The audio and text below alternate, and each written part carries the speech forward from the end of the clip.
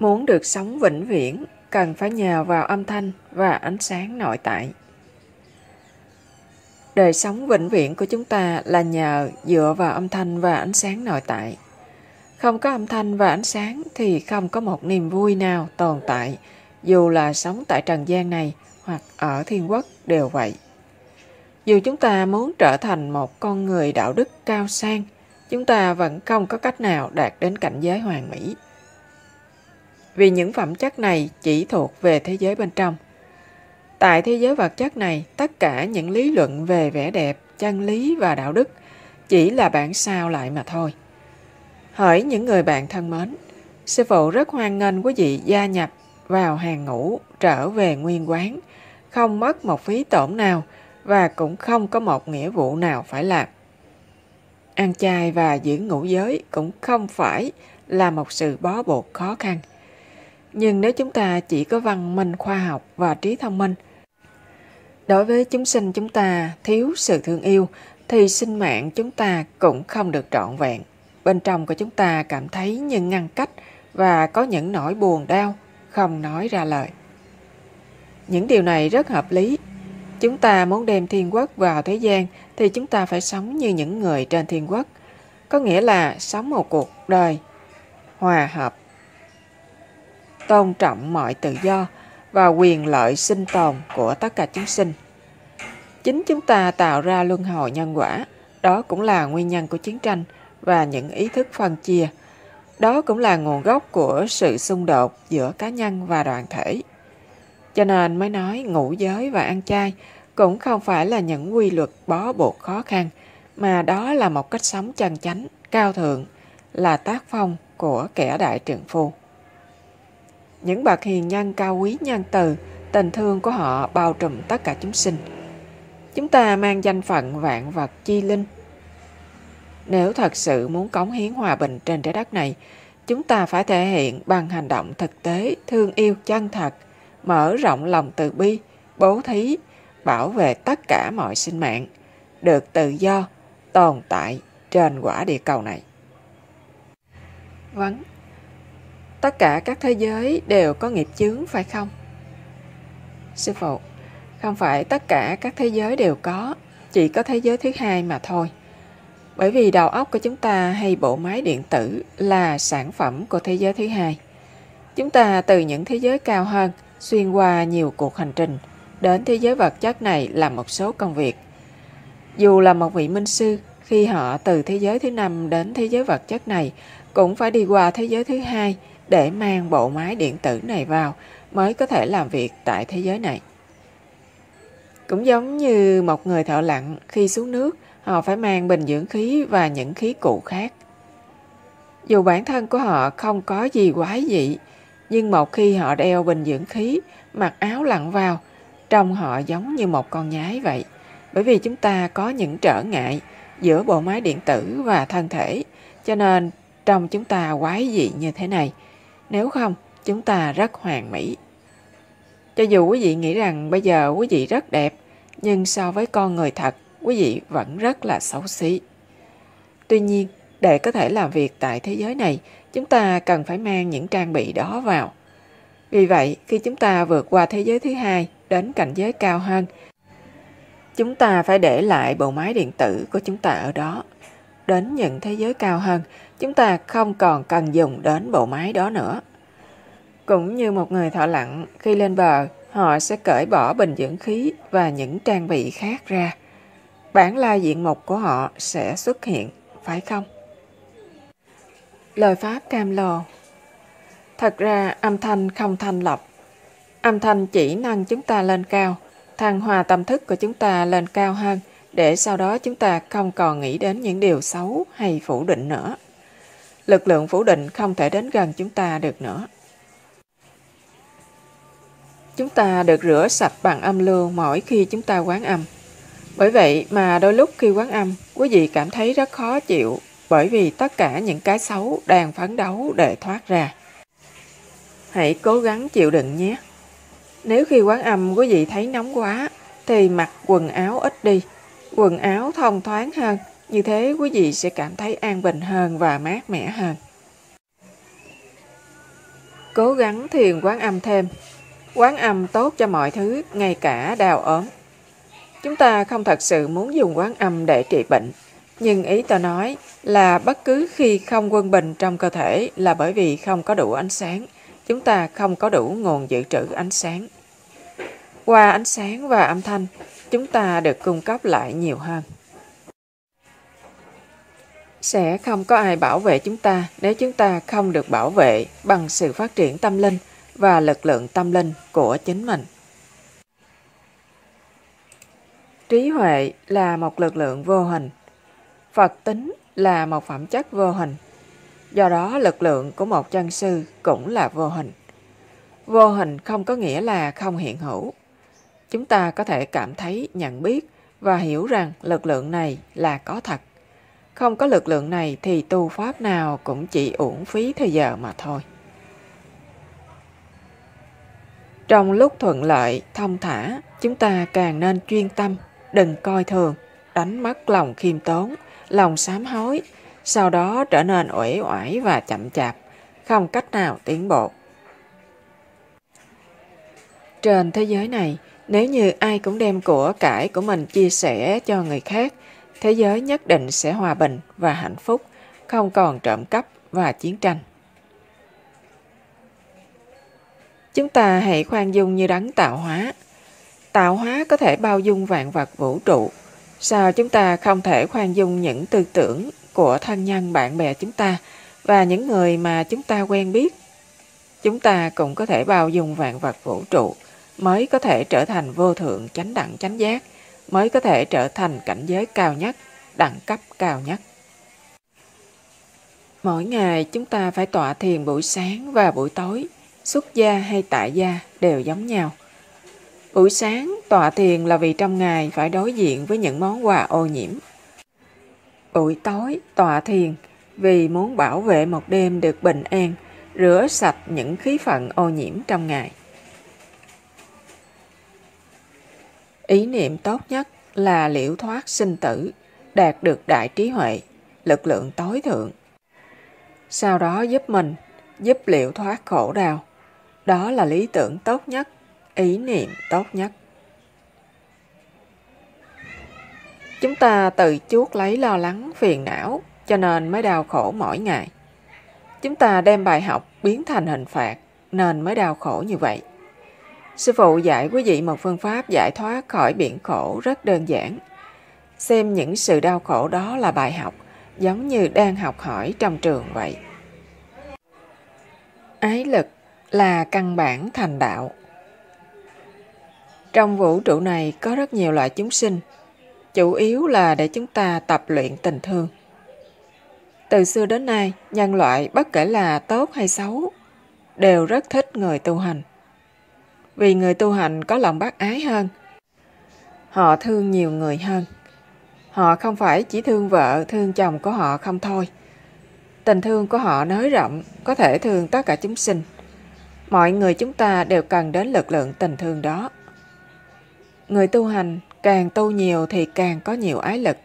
Cho nên chúng ta gọi Chúa Giêsu Kitô là bác ái, gọi Phật Thích Ca Mâu Ni là từ bi. Từ bi bác ái đều như nhau. Từ bi có nghĩa là thương tất cả chúng sinh, đều coi bình đẳng. Bác ái có nghĩa là thương tất cả mọi người, không có tâm phân biệt. Bác là quảng bác, có nghĩa là rất lớn, đó là bài học quan trọng nhất của chúng ta. Chúng ta sinh ra ở thế giới này chỉ để học tình thương mà thôi. Tu hành cũng để đạt được tình thương này.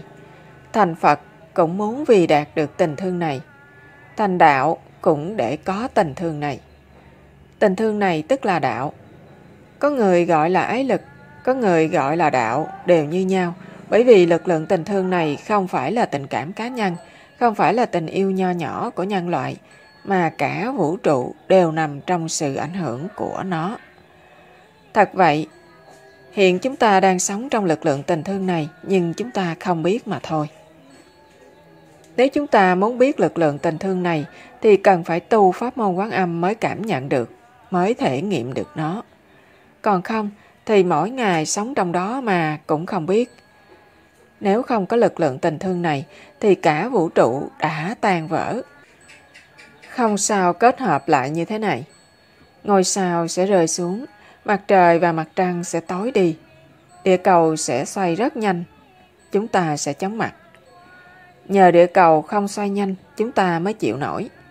Nếu không có lực lượng tình thương, nó sẽ quay rối loạn. Từ nhỏ đến bây giờ chúng ta đều học từ bài học tình thương này. Nhưng chúng ta không biết. Vì chúng ta không để ý đến, nếu chú ý thì sẽ biết. Tu hành là điều phải làm. Bệnh vô minh của chúng ta là nghiêm trọng nhất. Từ bệnh vô minh sẽ sinh ra nhiều căn bệnh khác. Thí dụ, có những lúc vì vô minh, chúng ta ra ngoài chơi, ăn thịt, uống rượu, hút chất độc. Cho rằng làm như thế chúng ta sẽ được sung sướng. Nhưng thật ra, nó sẽ phá hoại tinh thần và thể xác của chúng ta. Điều đó bởi vì vô minh của chúng ta mà ra, hiểu không? Vì vô minh, chúng ta ăn uống chất độc vào, rồi bệnh tình càng lúc càng nặng. Bệnh gan, bệnh ung thư, bệnh phổi, bệnh tim. Bệnh gì cũng sinh ra. Tất cả do bệnh vô minh mà ra. Lẽ ra, Thượng Đế gửi chúng ta đến nơi này là để gia trì cho thế giới, giúp cho thế giới càng lúc càng tiến bộ, càng lúc càng đẹp đẽ như thiên đàng. Rốt cuộc chúng ta đến đây nhập vào cái công cụ thân người này rồi lại phá hoại nó, không dùng nó thực hành ý chí của Thượng Đế. Phá hoại công cụ do Thượng Đế tạo ra, cho nên chúng ta càng lúc càng mệt nhọc. Giờ đây, tôi dạy quý vị làm chuyện phải, biết cách dùng công cụ của mình, biết được nhiệm vụ của mình. Còn không, mỗi người đến thế giới này đều đam mê, lạc lõng trong đời sống vật chất, thích điều này điều nọ, thích công cụ này. Thay vì dùng nó để làm đẹp thế giới, ngược lại chúng ta đam mê vào những công cụ này rồi đắm chìm ở nơi đây. Như vậy đương nhiên không có cách nào cứu được thế giới. Cần phải có những người như chúng ta để nhắc nhở người khác nhớ lại trách nhiệm nguyên thủy của mình. Phải hiểu rõ và ghi nhớ rằng họ không được đam mê và trụy lạc trong thế giới này. Cũng đừng phá hoại mình và thế giới này. Đó là điều phải làm. Cho nên, tu hành là điều phải làm.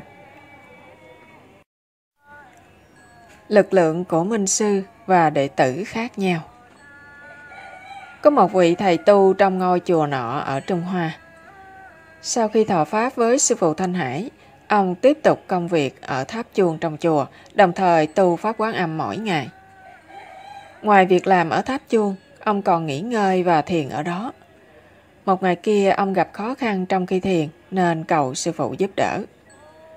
Ngay khi ông nghĩ đến sư phụ, ông thấy ngài khoan thai bước xuống từ cửa sổ của tháp chuông cùng với một sứ giả quán âm.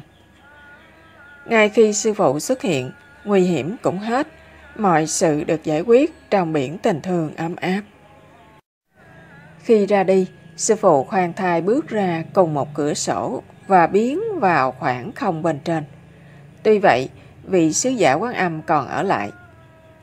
Không đủ lực lượng đi lên, sứ giả phải dùng cầu thang đi lên.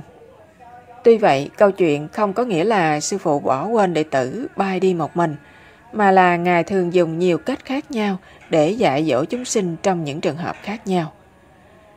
Cái gút trong lòng vị thầy tu đã được mở. Lực lượng của minh sư và đệ tử khác nhau. Thí dụ như lúc truyền pháp, lực lượng thật sự đến từ sư phụ sứ giả quán âm chỉ là công cụ. Bất cứ việc làm phi thường nào đệ tử làm được đều hoàn toàn tùy thuộc vào lòng nhân ái và lực lượng vĩ đại của sư phụ.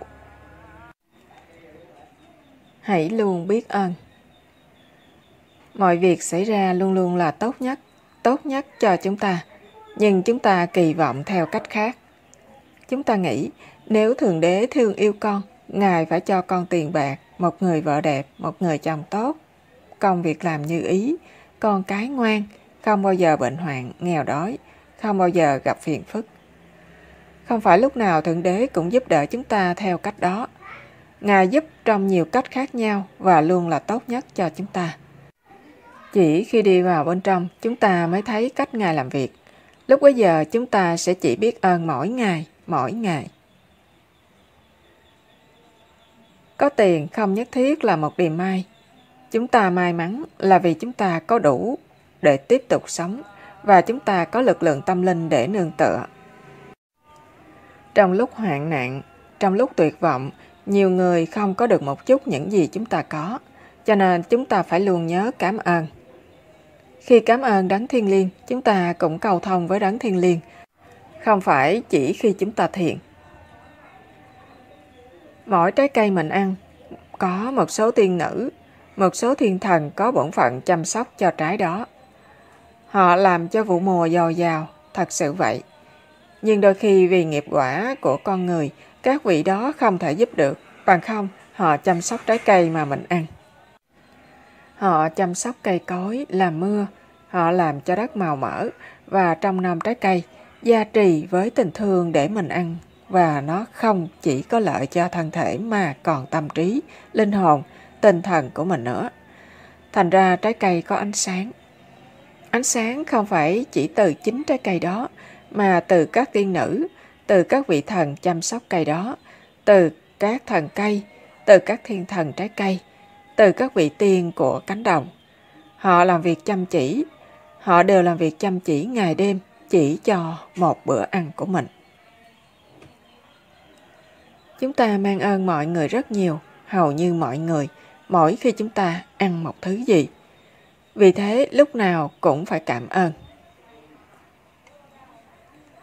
Mọi người đều cần ai đó hay thứ gì đó, cho nên chúng ta luôn giữ tinh thần biết ơn này trong tâm.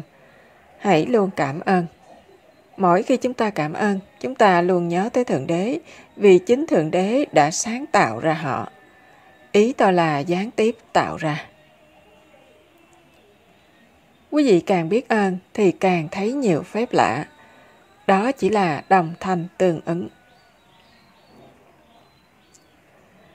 Những lúc nên biết ơn Mỗi khi quý vị làm được bất cứ điều gì tốt, hãy cảm tạ Thượng Đế đã cho quý vị cơ hội để làm một người tốt hơn, để đạt một chút phẩm chất của một người tốt. Luôn luôn cảm tạ Thượng Đế ở trong tâm mỗi khi quý vị có cơ hội để làm một điều gì đó gọi là tốt. Hãy cảm tạ thiên đàng cho bất cứ gì quý vị cảm thấy may mắn. Nếu có điều làm quý vị vui vẻ, hãy lập tức cảm tạ thiên đàng, cảm tạ Thượng Đế cho niềm hạnh phúc đó. Nếu quý vị khỏe mạnh, mỗi ngày hãy cảm tạ cho sức khỏe của quý vị. Nếu quý vị có bạn tốt, hãy cảm tạ Thượng Đế và nếu quý vị có bạn xấu hoặc gặp người xấu thì cảm tạ Thượng Đế rằng quý vị không phải là người đó. Khi ăn, hãy cảm tạ Thượng Đế. Khi uống, cảm tạ Thượng Đế. Thậm chí khi đi nhà vệ sinh, hãy cảm ơn cây cối cho giấy vệ sinh. Xin lỗi, chúng ta đốn hàng tỷ cây mỗi năm chỉ để vứt vào bồn cầu và những nơi khác. Đâu phải tất cả giấy đều được tái chế, lúc nào cũng là cây mới. Và chúng ta dùng giấy mà không biết ơn cây cối, không cảm thấy thương tiếc cho cây cối, không cảm ơn rừng xanh, không gì cả. Cách biết ơn Khi ăn, quý vị cảm ơn tất cả các vị thần tiên đã chăm sóc vườn tược, chăm sóc đất đai. Cảm ơn mẹ địa cầu, cảm ơn mặt trời, mặt trăng, cảm ơn tất cả. chỉ nói, xin cảm ơn tất cả những ai có liên quan trong bữa ăn ngon này và tôi biết ơn rất nhiều. Mong sự gia trì của các vị cũng giúp cho sự tu hành của tôi không chỉ thân thể vật chất này. Và rồi quý vị ăn. Cho dù không biết, quý vị cần phải cảm ơn. Tất cả đã cho tôi bữa ăn này. Xin cảm ơn với tất cả tấm lòng. Tôi luôn cảm ơn và chia sẻ công đức của tôi với bất cứ ai tôi có thể cho. Tôi không chỉ cảm ơn Thượng Đế toàn năng, tôi cảm ơn tất cả các vị các vị thiên đế hay các vị thần nhỏ, thiên thần, các vị tiên và các nông phu đã làm tất cả mọi thứ này cho chúng ta. Mỗi ngày, nếu không thể cảm tạ vào mỗi lúc, thì buổi sáng quý vị cảm tạ cho một ngày đẹp đang tới và cho sự bảo vệ mình thấy hay không thấy. Mỗi ngày, Nếu không thể cảm tạ vào mọi lúc, thì buổi sáng quý vị cảm tạ cho một ngày đẹp đang tới và cho sự bảo vệ mình thấy hay không thấy. Buổi tối, quý vị cảm ơn tất cả những ngày tháng tốt đẹp đã qua và tất cả những thứ quý vị có đã khiến đời sống quý vị như thiên đàng tại thế. Mỗi lần thiền, mỗi khi nhớ hãy nói cảm ơn, xin gia trì cho tôi, cảm ơn sự gia trì của vị và tiếp nhận vào. Cảm ơn tất cả, tất cả cây cối, thực vật, địa cầu, không khí, mặt trời, mặt trăng, tinh tú, tất cả thánh thần, thiên thần, người ngoại tinh, hữu hình và vô hình, tất cả loài vật, loài hoang dã. Cứ nhớ cảm ơn, càng tri ân, quý vị càng được thêm. Trích lời của Master Thanh Hải Vô Thượng Sư trong các bản tin, trong các buổi thuyết giảng vòng quanh Âu Châu và trong các buổi trình chiếu trên truyền hình Vô Thượng Sư.